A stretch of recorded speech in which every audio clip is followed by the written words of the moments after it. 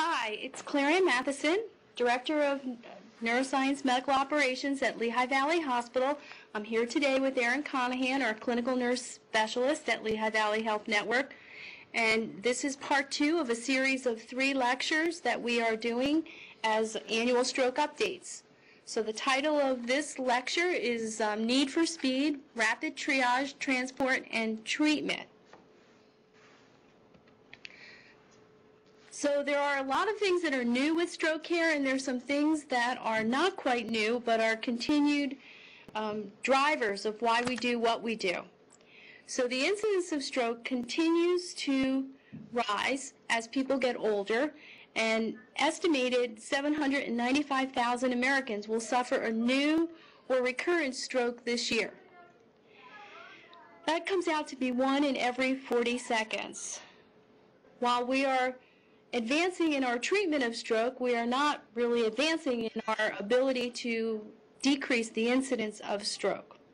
Stroke is still the number one leading cause of adult disability. So if you meet a stroke survivor, they're likely to tell you that they would rather have not um, had a stroke at all because it certainly does leave them with some reminders of, of what happened in their brain. So a little bit of information on the physiological impact of stroke on your um, brain circuitry. So every minute matters is, is the takeaway message. So if you look at this busy slide and you look at how many neurons are, are lost each minute, so about 2 million neurons are lost with each minute we delay reestablishing blood flow for that brain. So this translates to in about an hour, you've aged your brain about 3.6 years. So on average, most of our patients delay seeking any medical treatment for that first hour, and they've already incurred an, a 3.6 um, aging process on their brain. So again, the emphasis on reversing this or lessening the severity of this as quickly as possible cannot be understated. So one of the goals in stroke care is to minimize the actual um, brain injury and to maximize that ability for that patient's recovery. And in that process, everybody plays a very important role in rapidly getting treatment on board for that patient. So when we're out in the community, we are constantly messaging how important it is to activate medical emergency assistance um, using the 911 system we recognize that in time-sensitive emergencies like MI, like trauma, like stroke, partnering with our EMS colleagues is the quickest way to get help on scene and to, again, begin the process of getting treatment to that patient. So when EMS responds, they are able to actively engage uh, at that scene, begin to gather necessary information, and to message ahead to a receiving facility that they have a suspected stroke patient. There are eight Ds of stroke care, and you may be familiar with these through ACLS protocol, through any American Heart course that you may have taken. And this really starts with rapid identification that there is a problem, dispatching of early assistance using 911, immediate um, delivery of that patient from the scene to the, to the hospital um, by EMS, appropriate triage once you are at a receiving destination, gathering of important information in under that 60 minutes so that we can get that door to target treatment in under 60. And then again, gathering that information and the necessary expertise of, of physicians to select the appropriate therapy for that patient. When we talk about drug, we talk about treatment. Um, TPA has been approved since 1996, so it's over a decade old with experience in treating stroke patients. And then intra-arterial strategies, which have been around um, with newer generation devices since 2004, offer another um, means that we can help reperfuse injured brain. And then disposition, rapid admission to a stroke unit or critical care unit. So again, limiting that time in the emergency department and getting that patient to an area that can fully focus on that patient's immediate care. Field assessment of stroke is a hot topic right now, and there's a lot of emphasis on what is the best tool to assess um, that patient in the field to determine if this might be a potential stroke. For years, as part of BLS training, we have taught the Cincinnati Pre-Hospital Stroke Scale. This too has become the public message that the American Heart and National Stroke Association use to teach lay people to recognize the signs and symptoms of stroke. We use the mnemonic FAST to indicate F for facial droop, having the patient smile and looking for symmetry. A for holding your arms out and counting to um, 10 to see if um, you're able to keep both sides out there looking for motor weakness. Speech, having that patient uh, repeat a sentence to, again, identify if they're having any kind of um, deficit in speech. And then T, we add in there for time of onset and time to call 911. Recently, in our region, we have adopted um, the use of the MEND exam um, as part of our acute stroke life support course. Um, this takes components of the Cincinnati pre-hospital stroke scale and adds a few additional pieces from the um, NIH stroke scale. This gives us the ability to assess the mental status, some of the cranial nerves, and a little bit more focus on limb weakness. This is meant to be a second part exam, so Cincinnati pre-hospital would be done on scene, and then en route, as you're performing your secondary assessment in the back of the ambulance, you would perform the, um, repeat the Cincinnati and then add in the components of the MEND. This again helps us to identify more um, completely what kinds of deficit that that patient may have and may helpful, hopefully improve the, the communication and the handoff uh, between different levels of care. So in summary, the EMS role in the stroke system is a very, very important um, partnership. They are the first medical provider with direct patient contact. Um, the EMS care has uh, significant consequences in that patient's subsequent care. So for EMS providers, um, they triage the patient first. So it's so important that they're aware of um, stroke centers and what the different actual capabilities of local hospitals as well as the EMS system is. Um, this is so important as we move patients after they first start TPA, if they move from as an interfacility hospital transport, as well as if they are in the field and they recognize that that patient may have an exclusion criteria for IV TPA and they're able to reroute that patient um, using your medical support. A little bit about pre-hospital stroke alert. Um, in our area, we activate pre-hospital stroke alerts for patients presenting with symptoms less than six hours. Um, this is important because it's beyond that three-hour IV TPA. And this is due to the fact that with mechanical intervention, we can go out as far as eight hours from the start of stroke symptoms. So this really is a game changer, and this is new information that we want to be sure is is out there because it could really save the life of a friend or a family member that has a stroke emergency. So things that we ask our EMS partners, get the last time known well. Um, this is the time that the patient was last seen normal. So if that patient went to bed at 9 p.m. last night and awoke at 7 o'clock this morning and kind of fell out of bed because they had right-sided weakness, um, you would need to work with was that patient seen any time during the night um, to help identify that time last seen normal. If nobody saw that patient or talked to that patient in the morning before 7 o'clock, the last known normal would revert back to that 9 p.m. bedtime. Meds. Medication history is very important and has gotten more complicated as we've added new treatments for atrial fibrillation.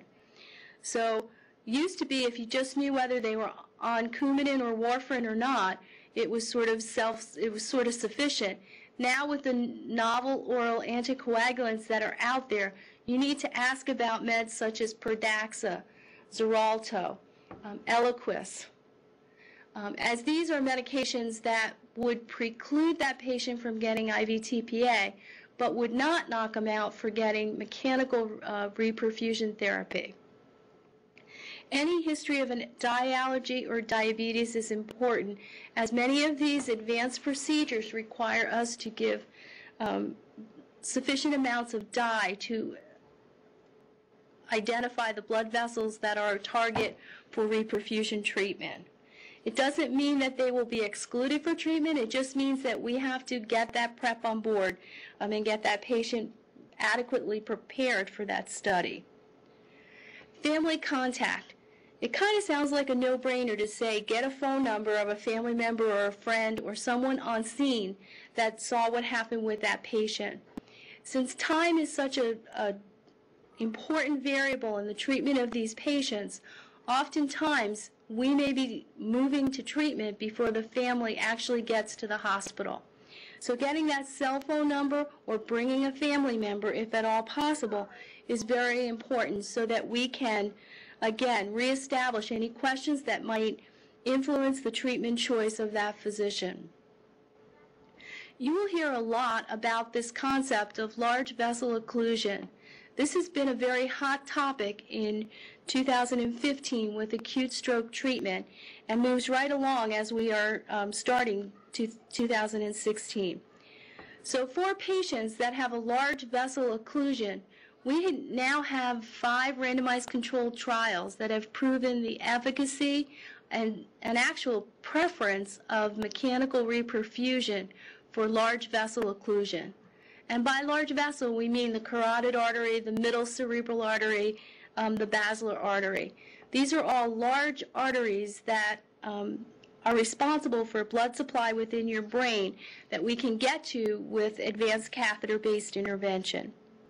Typically, these patients will present with a clinical exam involving face, arm, and leg, and most usually speech. So if that patient has an NIH stroke scale greater than 8, these patients are potentially mechanical reperfusion candidates. So stroke treatment options. So we've really evolved the treatment of stroke um, since the approval of TPA in 1996. So as far as um, medical management, IV TPA remains the only FDA-approved clot-busting medication used for stroke patients.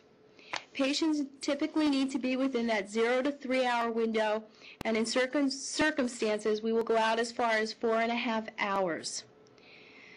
There has to be no other contraindications associated with the use of that drug, so there is a safety checklist that is used each and every time as physicians consider the options for these patients. Intra-arterial thrombolysis is available at facilities with um, physicians that have special training and have access to either a cath lab or a neurointerventional um, laboratory where they can, similar to what you're seeing in a, a MI alert go up directly into the brain and intervene on the artery that has a blockage. This allows us to optimize the treatment choices for those large vessel occlusions. We're able to go up there and directly balloon open, um, retrieve that clot, reestablish blood flow in very short time um, which again allows less brain to be injured by that um, reduction in blood flow. Intraarterial thrombolysis, not done as often um, anymore, but that requires the physician to directly infuse the IV TPA into the artery directly at the site of the clot. They're able to use smaller doses, they're able to more um, carefully monitor that patient. Um, but honestly, with the improvement in mechanical thrombectomy devices, they're actually able to get up there and remove the clot quicker than they are able to dissolve the clot. So why this is so very important, um, this slide here shows you that after large meta-analysis of patients treated with IV TPA, we really see in the large vessel occlusion, only 35 to 40 percent of patients are actually helped by that TPA drug. And you can sort of see how this breaks down by the territory. So it's a very small chance that IV TPA is going to open up a blocked carotid artery, as you can see um, with the low percentage yield um, recorded here. If that patient has a middle cerebral artery, you can see the chances are a little bit better, but still not super terrific. And then a clot that's in the vertebral basal or posterior circulation, you can see it's about a 31% um, effectiveness that that medication may have in opening that blocked blood vessel. So differences in hospital capabilities.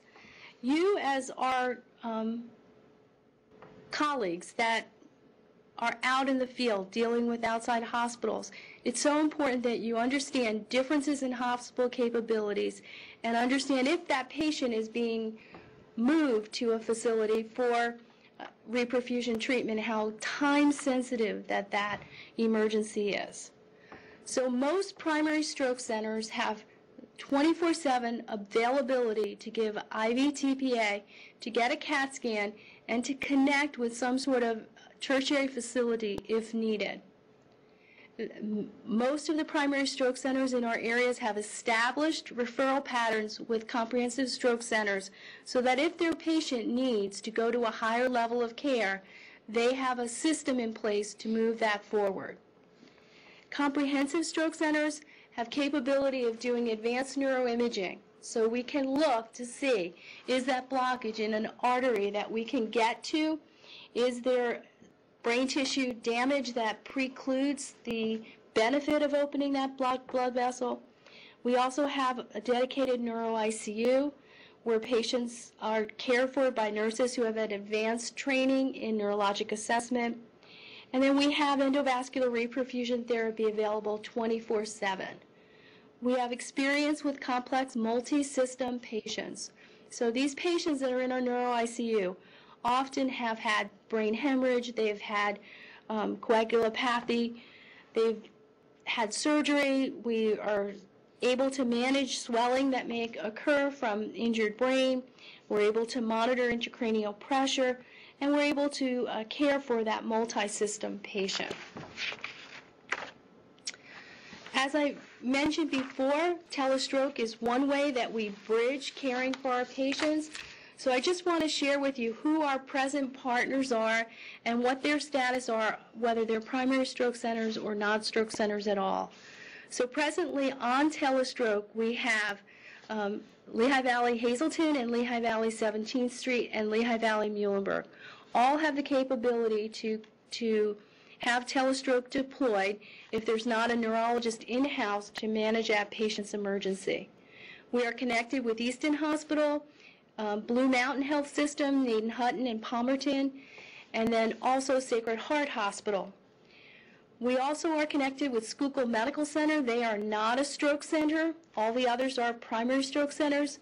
So at Schuylkill Medical Center, we have telestroke at the East Norwegian campus and at, at South Jackson. There are three other hospitals that refer to us as well. They are all primary stroke centers, so Pottstown Hospital, Pocono Medical Center, and Grandview. Um, each of these three hospitals may have telestroke arrangements with other CS comprehensive stroke centers, but when time is brain and they need to send patients to the quickest, nearest facility, geographically, you are going to see some overlapping that occurs as we look to sort of build a system approach to stroke care similar to what we experience in trauma. I am now going to turn it over to Erin, who's going to talk a little bit about um, what occurs when we need to move patients rapidly from one level of care to another.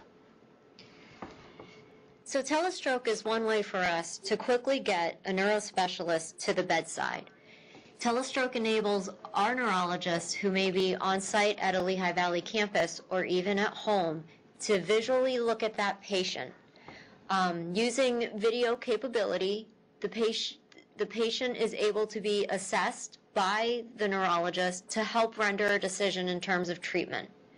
In addition to doing a video assessment, there is an imaging cloud that allows a transfer of the CAT scan so that the neurologist may view that and help render an opinion with even more information.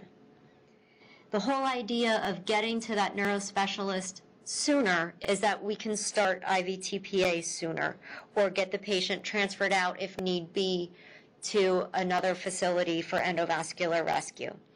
Again, as Claranne mentioned, the sooner we get any stroke treatment started to the onset of symptoms, the better chance of that patient having a good outcome. Typically, we have looked at our door to needle time of 60 minutes, and that's been well established since the beginning of TPA delivery. As more centers are becoming primary stroke certified, it's easier to meet this benchmark. So the American Stroke Association in the last year has raised the bar to get that door to needle time of 45 minutes.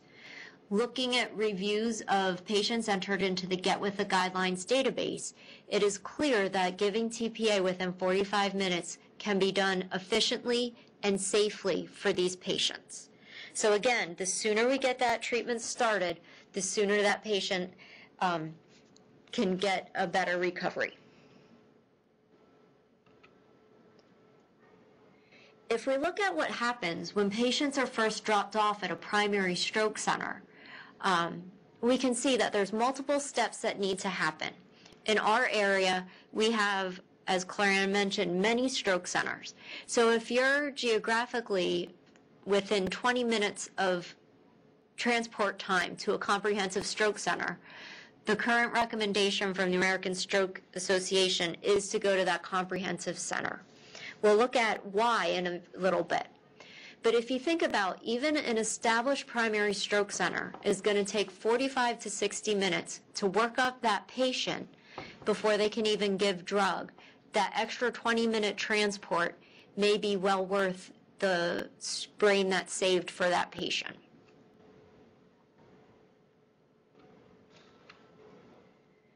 Again, understanding what our what our hospitals are capable of will help us deliver patients to the correct uh, center. Currently, the American Stroke Association is looking at EMS routing for recommendations, but it is difficult given that everything is governed by state and also local municipalities. But when we're looking at our patients, some things that may help us make that determination in the field is that pre-hospital stroke scale.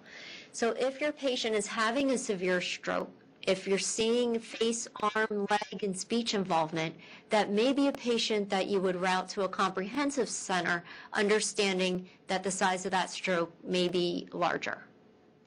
Time of onset is also key. Primary stroke centers can deliver that IVTPA in that first zero to three hour range. And many, many centers also have the capability to go out as far as four and a half hours. But if that patient's onset of symptoms started at three, three hours ago, it may be beneficial to get them to that comprehensive stroke center because they may need to go on to that endovascular treatment, which will open the treatment window for them. Other important information to consider when we're looking at where to take a patient is if they've had recent surgery.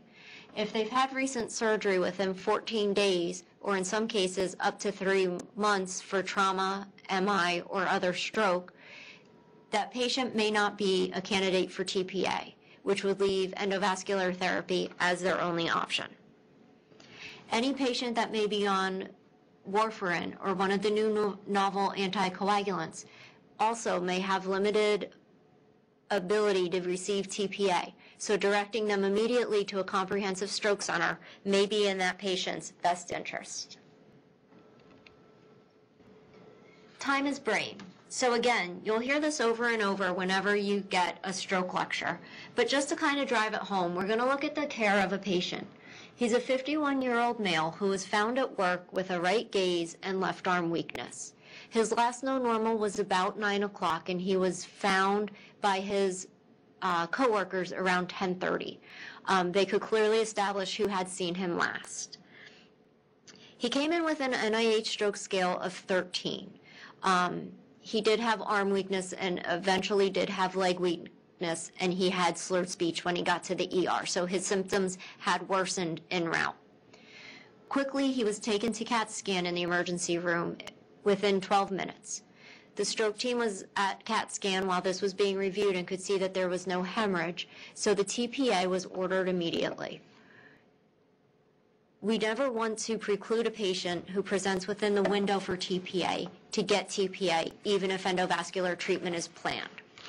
At this time, we were still delivering TPA before taking that patient to the intraarterial suite to see if there were any improvements. This patient didn't have any improvements. Um, so he was quickly taken to endovascular where they were able to remove the clot within 29 minutes. His overall time to revascularization was 122 minutes from onset. And if you think about the hour that it typically takes to work up that stroke patient and the hour of TPA delivery, right there's 120 minutes. So between the TPA and endovascular treatment, he was able to be opened at 122 minutes. Looking at his angiogram, we can see on the left-hand side, this is a carotid artery coming up. This is a division of that middle cerebral artery right here. And right in here, you can see where there's no blood flow getting out to this part of the brain. After four passes using a combination of catheters, blood flow was reestablished to that right cerebral hemisphere.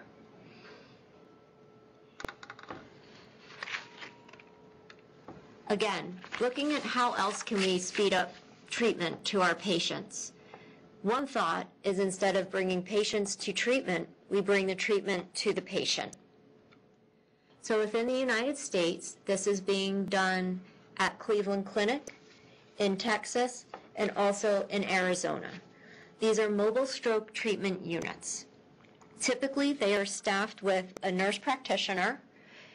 They usually have a driver who is also CAT scan tech co-trained so that they're able to run the imaging piece and uh, oftentimes a medic for additional support. The back of these units contain a CAT scanner. That way we can differentiate patients that have hemorrhage from no hemorrhage. What typically occurs is that when the stroke alert is called, the mobile stroke unit will meet the local unit in the field where they will transfer the patient to the mobile unit, get that CAT scan. And then they also have a telemedicine connection, oftentimes via a tablet, to a stroke neurologist who's able to review the images, view the patient's history as they would in an emergency room, and make that decision whether or not to start TPA. If that patient would end up being a hemorrhage, they could also make the decision to initiate antihypertensive therapy as well as reversal of anticoagulation in the field. If the patient is going to be transferred onto a comprehensive stroke center, the patient would stay with that mobile stroke unit and move with the team to the site. If the decision is made that that patient could get TPA and return to a local PSC, or that maybe the patient doesn't qualify for acute stroke treatment, um, if they're outside the window, for instance, then that local ambulance would transport that patient to the local primary stroke center. So as you can see, there are many, many new findings in stroke that's advancing our care. Thank you for your participation in care of the stroke patient.